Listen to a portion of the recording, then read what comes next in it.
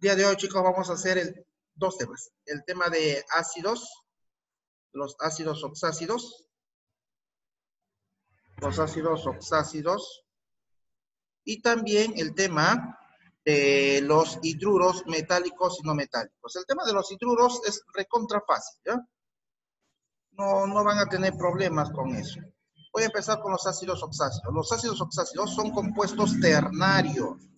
¿Por qué ternarios? Porque van a tener tres, van a tener tres elementos. Son compuestos ternarios de la forma hidrógeno. Miren, primero se pone el hidrógeno, luego el no metal, que es el elemento, y finalmente el oxígeno. Así es como se hace, ¿ya? Repito, los ácidos oxácidos son compuestos ternarios que contienen hidrógeno, el no metal y el oxígeno. Y estos se obtienen, que se obtienen al reaccionar, ¿quién? Un anhidrido más agua. Reaccionar anhidrido más agua. Recuerdan ustedes, la clase pasada hicimos hidróxidos y los hidróxidos también son compuestos ternarios, ¿verdad? ¿Cómo se formaba el hidróxido? Se formaba un óxido más agua. Ahora estamos con un anhidrido más agua. ¿Estamos? Miren, vamos a recordarles un poquito. Cuando nosotros teníamos el, el CO, ¿cómo se llamaba este señor? Anhidrido carbonoso. ¿Se acuerdan? Este es el anhidrido carbonoso anhidrido carbonoso. Le voy a poner acá su nombre. Este señor es el anhidrido carbonoso. A este anhidrido carbonoso le hago reaccionar con el agua. que voy a obtener? Es sencillo, miren. Pongo, siempre voy a poner primero el hidrógeno. Ahí está, el hidrógeno. E de elemento, en este caso el no metal. ¿Quién es el no metal? El carbono, le pongo el carbono y finalmente el oxígeno. Luego contamos, ¿cuántos hidrógenos hay? Dos hidrógenos, profesor. Ah, le pongo dos. ¿Cuántos carbonos? Un carbono, ya, uno, no se pone, se sobreentiende. ¿Cuántos oxígenos? Uno más uno, dos oxígenos. Listo. ¿Cómo se llama? Acá, profe, ¿puedo simplificar? No, no puedo simplificar. ¿Por qué no puedo simplificar? Porque este señor, no, el carbono no tiene mitad. A ver, vamos ahora con los tres sistemas. El tradicional,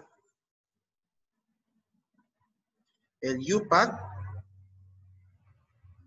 y el stock. ¿Cómo se llama en el tradicional? Mire, en el tradicional va a tener, la función es un ácido. Entonces, este señor se va a llamar ahora ácido. Ácido, ¿qué ácido? Viene el nombre del anhidrido. Aquí dice anhidrido carbonoso. Ya no va a ser un anhidrido, va a ser un ácido carbonoso. En UPAC, ¿cuántos oxígenos hay? Dos. Recuerda que en UPAC es prefijo numérico, dioxo, di, porque hay dos, oxo de oxígeno. ¿Qué elemento es? Un carbono. Entonces va a tener la terminación ato dioxocarbonato. ¿De quién? De hidrógeno. También algunos autores le ponen dioxocarbonato de hidrógeno. ¿Ya? Que es lo mismo. Stock. ¿Cómo sería en stock? Recuerden que en stock viene siempre con, con números romanos. Es mucho más fácil. ¿Cómo sería? ácido de carbono. Entre paréntesis, ¿con qué valencia está el carbono acá? Yo sé que el carbono tiene valencia 2 y valencia 4. Aquí está con valencia 2. Profe, ¿y cómo sabes que es valencia 2? ¿Cómo, me doy cuenta yo, profe, qué valencia tiene? Ustedes pueden hacer el siguiente análisis. Miren, el hidrógeno saben que tiene más 1 el oxígeno que tiene menos 2. Aquí el carbono es X. Recuerden que hemos hecho eso, ¿no? ¿Cuánto vale X? 2 por 1, 2. Acá 2 más X menos ¿cuánto? 2 por 2, 4. Igual a, ¿cuánto? A 0. 2 menos 4 es menos 2, ¿verdad? X menos 2 igual a 0. Entonces, X es igual a 2. ¿Ven? De aquí sale este 2 de acá. El profesor ya sabe de memoria, pues no, por eso no tiene la necesidad de hacer esto. En cambio, ustedes, si gustan, pueden hacer esto, o si no, o si no, si no quieren hacer eso, ustedes pueden partir de acá el anhidrido carbonoso. ¿Recuerdan? El carbono tiene dos valencias, que es 2 y 4. Y para obtener acá el CO, tiene que ser carbono 2, oxígeno menos 2, ¿ven? Entonces acá es 2, ya salió ya. Eso hemos hecho nosotros la clase pasada. Luego, con el 4, cuando trabaja con el, con el carbono 4, yo voy a tener aquí a este señor, CO2, sí o sí. ¿Cómo se llamaba? Este señor se llamaba anhidrido, ahora está con la mayor valencia, por lo tanto se llama anhidrido carbónico. ¿Por qué? Porque tiene terminación ICO debido a que está trabajando con la valencia 4. Igualito, a este señor le hacemos reaccionar con el agua. ¿Qué va a ocurrir?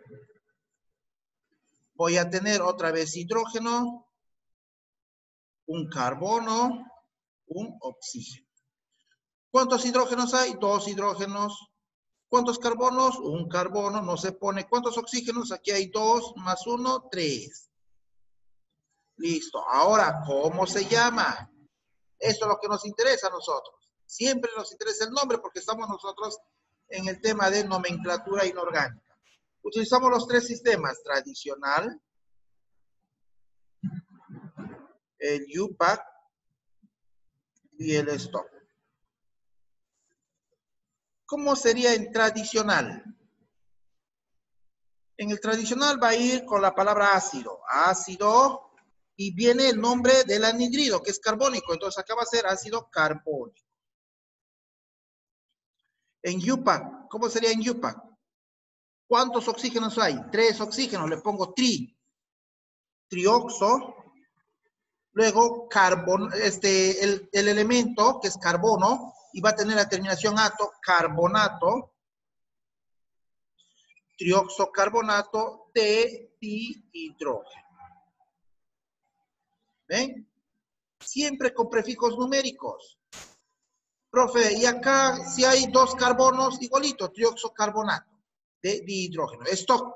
El stock es regalado, eso es para ociosos. Miren, esto solamente se va a llamar ácido de carbono y entre, y entre paréntesis se pone la valencia. ¿Con qué valencia está trabajando acá el carbono? Yo puedo deducirme. Si el oxígeno es menos 2, ¿cuánto tiene que ser el carbono para que sea cero? 4, profesor. Ah, ya le ponemos el 4 con números romanos. Ya como corresponde, con números romanos, así. Ácido de carbono, 4. ¿Ven, chicos, qué sencillo los ácidos oxácidos? Sí, ¿no?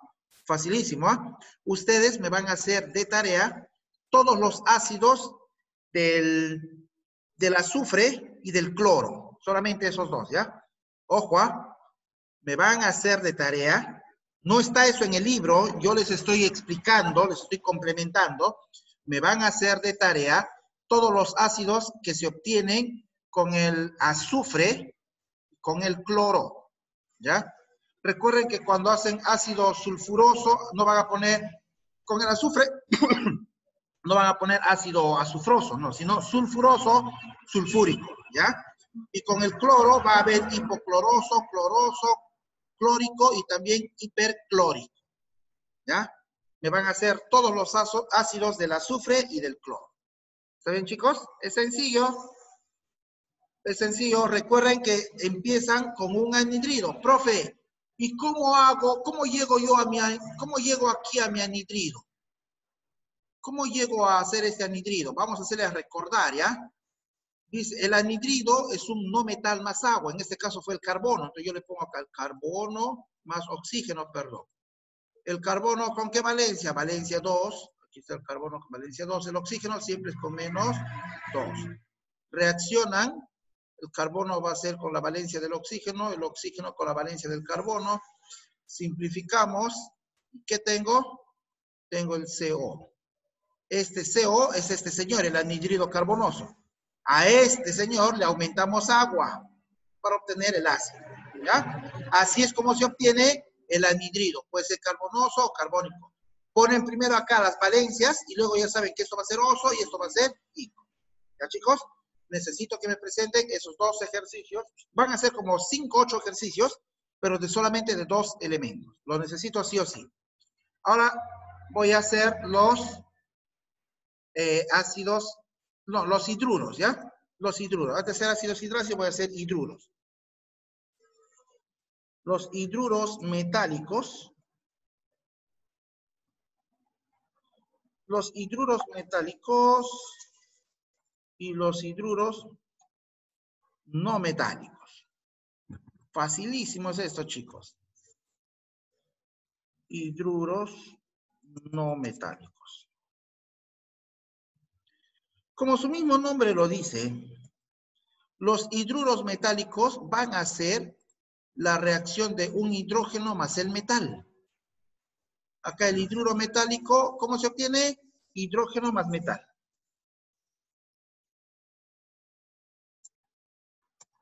Y un hidruro no metálico, obvio, profe, hidrógeno más un no metal. Facilísimo, ¿no?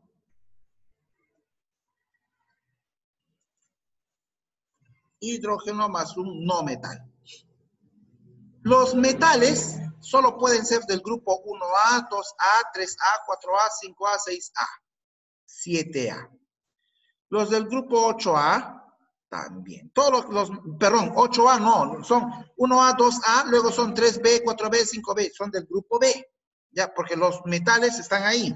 Ustedes miren, necesitan sí o sí su tabla periódica la primera columna aparece 1A, luego viene 2A. Eso ya lo hemos hecho, chicos, en clases pasadas. Así que ustedes ya deben saber identificar. ¿Sí? Veamos entonces qué es lo que ocurre. Miren, hay un detalle acá. Cuando el elemento está en el grupo 1A, va a trabajar con valencia 1. Perdón, pero con valencia 1, pero no en romano, sino en número este, arábico con valencia 1. Si el elemento está en el grupo 2A, ¿con qué valencia? Con valencia 2. Luego, cuando el elemento está en el grupo 3A, ya no es un metal. Estos dos son metales, el 1A y el 2A son metales. Aquí es cuando está en el grupo 3A, miren, ¿ah? Cuando está en el grupo 3A ya es un no metal. Entonces, este señor va a trabajar con valencia 3. El del grupo 4A trabaja con valencia 4. El del grupo 5A, profe, el del grupo 5A va a trabajar con valencia 5. No, va a trabajar con valencia 3 el del grupo 6A, ojo acá, eh, ojo, tomen nota, los, los elementos del grupo 6A trabajan con valencia 2. Los del 7A con valencia 1. Y los del 8A, los del 8A no reaccionan porque ya tienen completos el último nivel de energía. Profesor, ¿por qué los del grupo 5A trabajan con valencia 3, del 6A con valencia 2 y del 7A con valencia 1? Resulta que si ustedes recuerdan la regla del octeto, todos los elementos siempre tienden a completar 8 electrones en su último nivel. Los del grupo 1A significa que tienen un, un electrón en su último nivel. Por lo tanto, van a trabajar con valencia 1. Los del grupo 2A van a trabajar con valencia 2. ¿Por qué? Porque tienen dos electrones en su último nivel. Los elementos del grupo 5A tienen cinco electrones en su último nivel. No pueden trabajar con valencia 5 porque a estos señores solo les falta 3 para completar 8. Por lo tanto, trabajan con valencia 3. Los del grupo 6A, ellos ya tienen 6 electrones en su último nivel. ¿Cuánto les falta para completar 8? Profe, les faltan 2. Ah, por lo tanto, trabajan con 2. Y así sucesivamente. ¿Ya? ¿Cómo se llaman? Es facilísimo. Por ejemplo, el calcio. Chicos, el calcio. ¿En qué, ¿En qué grupo está el calcio? Chicos, consultora periódica. ¿Estamos? ¿Nadie tiene tabla periódica? Ahorita se jalan, ¿ah? En el 2A. Ah, ya, muy bien. 2A. En el 2A, muy bien, Tommy, lo salvaste. El calcio está en el grupo 2A. ¿Ya? Entonces, ¿con qué valencia va a trabajar el, el calcio? Va a trabajar con valencia, con valencia 2. Ah, antes que me olvide.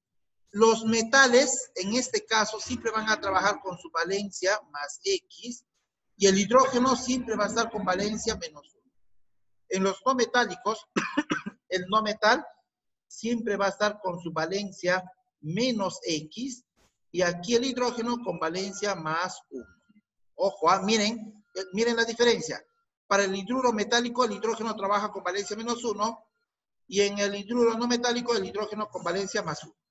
Veamos acá, hidrógeno menos 1, valencia menos 1, el calcio, valencia, ¿qué valencia? 2, porque está en el grupo 2A. Este señor pasa para el hidrógeno, esto viene acá, ¿cómo sería?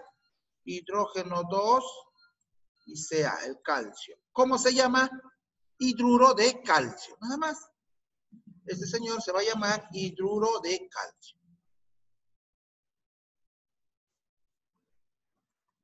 ¿Ven que es fácil? Otro elemento. A ver, el sodio. ¿A qué, a grupo pertenece el sodio? Chicos. 1A. Ajá. Miren, ¿ah?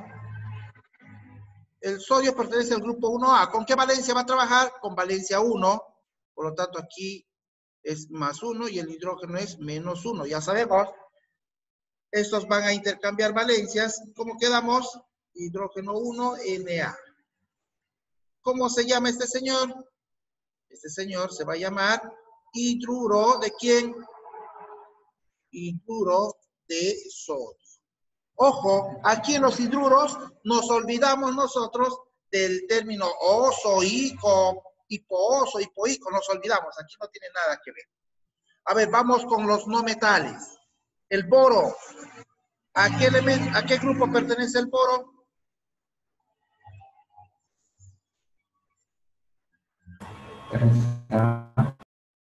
Al grupo 3A, por lo tanto, el boro va a trabajar con valencia menos 3 y el hidrógeno con valencia más 1. Es facilísimo, miren. ¿Qué voy a tener? Voy a tener el H3B, que es el boro. ¿Cómo se llama? Siempre nos interesa a nosotros el nombre. ¿Cómo se llama? Hidruro. Hidruro de boro. ¿Está bien? El cloro. ¿El cloro a qué grupo pertenece?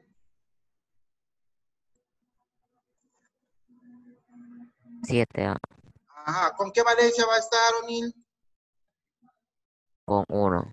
Menos uno, papá. Menos 1.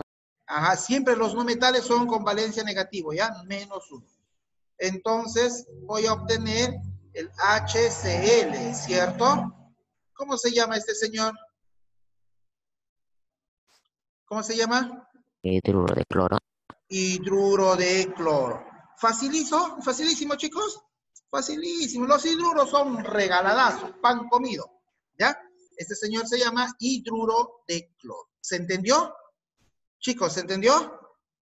Sí, profesor. Sí, ¿no? Muy bien. Espero que hayan tomado nota o si no, paralizan el video y luego lo, lo, lo copian la clase. Lo que voy a hacer a continuación son los ácidos hidrácidos. ¿Ya? Ácidos hidrácidos. Este es lo último, lo último, los ácidos hidrácidos. Miren. Los ácidos hidrácidos es un detalle muy, muy, este, bastante eh, raro. El ácido hidrácido resulta de un hidruro no metálico, hidruro no metálico, más agua. ¿Ya? Así es como se forma un ácido hidrácido, hidruro no metálico más agua. Pero resulta que este hidruro no metálico solo puede ser del grupo, solo puede ser del grupo 6A, 6A o del grupo 7A. Ojo, el hidruro no metálico puede ser del grupo 6A y 7A. Nosotros acabamos de hacer un hidruro que es el hidruro de el hidruro de cloro o también le habíamos ¿cómo le llamábamos? Hidruro de cloro le llamábamos, ¿no? ¿Sí? También se llama cloruro de hidrógeno en el sistema este internacional. Ya, hidruro de cloro o cloruro de hidrógeno, ya, listo, como queramos llamarlo. Miren, este señor es un líquido. Se encuentra en estado líquido. Si a este señor yo, lo le añado agua, también va a estar en estado líquido. ¿Y qué voy a obtener? Voy a obtener el hidruro, el hidruro más agua. ¿Sí o sí? ¿Por qué? Porque esto también va a ser líquido. En otras palabras, escúchenme bien, en otras palabras, para mí, de un modo mucho más sencillo para formar un ácido hidrácido, es el no metal del grupo 6A más 7A con el hidrógeno. Nada más, porque esto líquido más líquido sigue siendo líquido. ¿Ya? El método práctico, escuchen bien, ¿ah? el método práctico consiste en que el no metal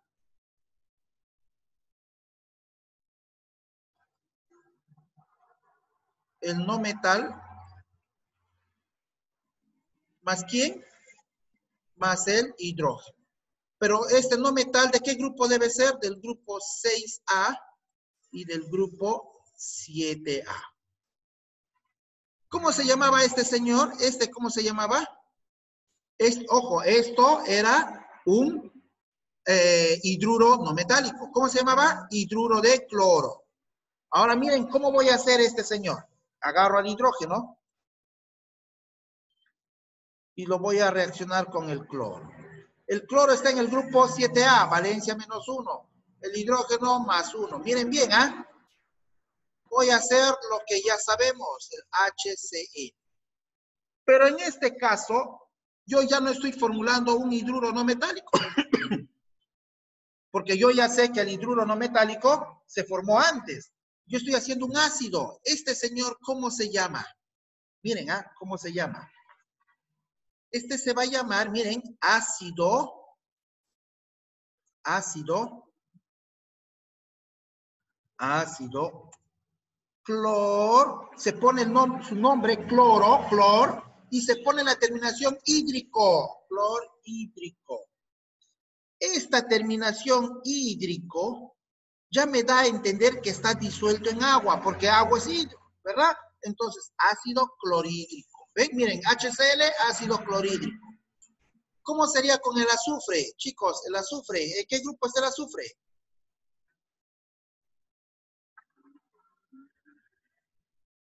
¿Qué grupo está el azufre? 6A o 7A? 6A. 6A. Entonces, ¿con qué valencia va a trabajar? Con Menos 2. Menos 2. ¿Qué voy a obtener? H2S. ¿Cómo se llama? Estos son facilísimos. ¿Cómo se llama? Ácido sulfhídrico.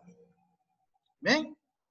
A ver, otro elemento del grupo 6A. Rapidito. Uno que me diga rapidito. O'Neill.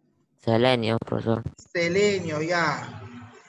El selenio trabaja con valencia menos 2. ¿Por qué? Porque está en el grupo 6A.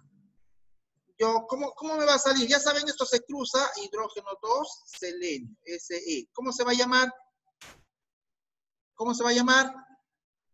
Ácido selenhídrico. ¿Está bien? A ver, con el yodo. El yodo está en el grupo, en el grupo 7A. Por lo tanto, va a trabajar con valencia menos 1. ¿Qué voy a obtener? HI. ¿Cómo se llama? Se va a llamar ácido, ácido Yod ey, Yod hídrico, no es todo, ¿ya? Yod hídrico. ¿Ven, chicos? Todo esto va a tener solamente terminación hídrico, hídrico, hídrico, hídrico y se acabó. ¿Estamos? Muy bien, ahora sí, nos vamos al módulo, que es la página 100, perdón, la página 94. Vamos todos, vamos a resolver los ejercicios rapidito. Tenemos unos cinco minutitos por acá para avanzar, ¿ya? Para hacer estos ejercicios. Entonces, esto ya está, ya los hidruros metálicos, bla, bla, bla, ya está. Vamos, los hidruros especiales. Tetrahidruro de carbono. Miren, estos son los hidruros tetra, porque hay cuatro. Este es en yupa acá. Tetrahidruro de carbono. Trihidruro de boro. ¿Sí? Nosotros lo que habíamos hecho en, el ejemplo era con el sistema tradicional.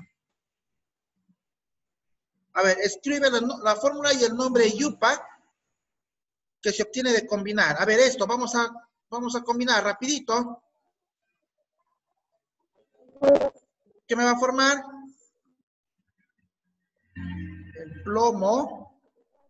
El plomo que va, va a tener uno y el hidrógeno, ¿cuánto?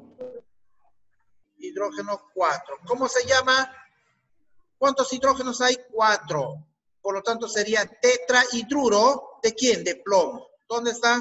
La alternativa B. Tetrahidruro de plomo. Siguiente. ¿Cómo se obtienen los hidruros metálicos? Facilísimo. Hidruro es el hidrógeno más un metal. ¿Dónde está? Metal con hidrógeno. Ahí está, alternativa E. Siguiente. ¿Cuántos y qué elementos están presentes en el compuesto? ¿Esto cómo se llamaría?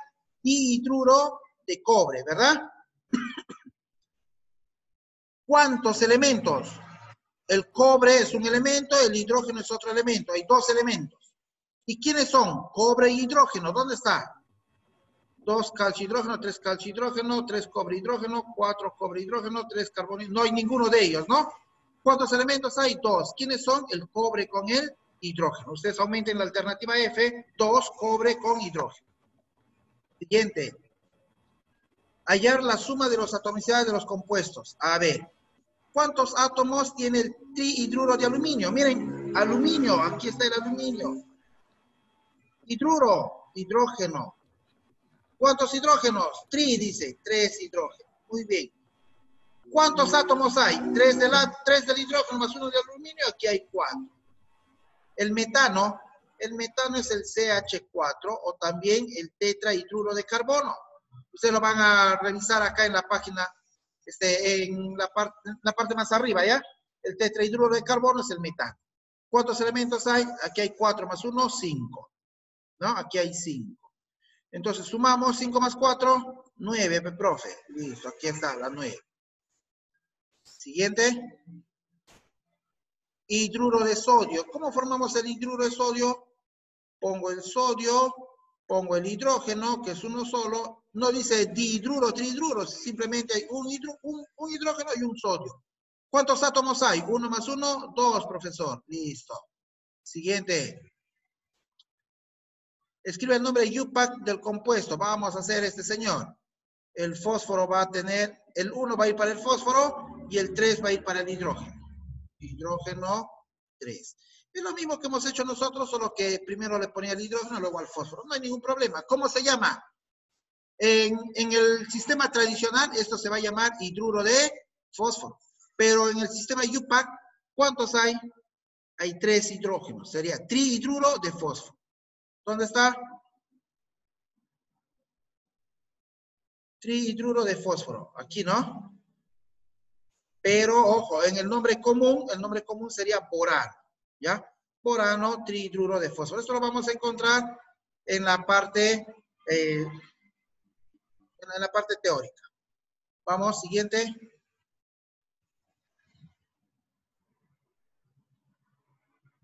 El dihidruro de calcio. ¿Cómo sería el dihidruro de calcio? Pongo el calcio, el hidrógeno. ¿Cuántos hidrógenos? Di dice, dos hidrógenos.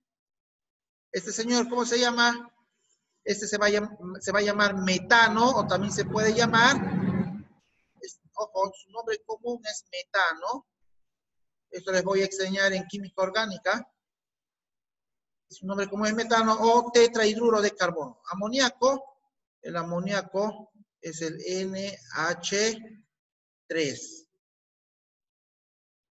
Y este señor, ¿cómo se llama? Trihidruro de aluminio, ya sabemos ya. Trihidruro, trihidruro de aluminio. La alternativa A, ¿no? Siguiente.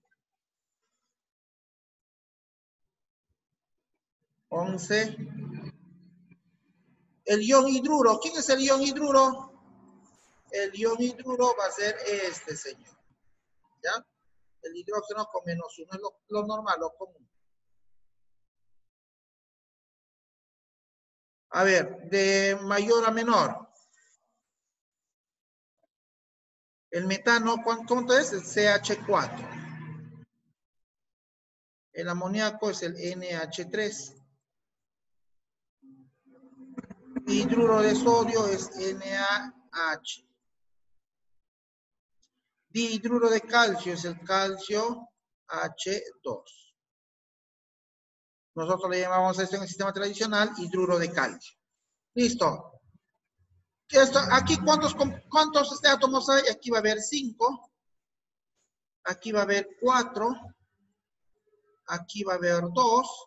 Y aquí va a haber 3. Dos hidrógenos, un calcio, 3. Ordenen de menor a mayor, ya está facilísimo. ¿Ya, chicos?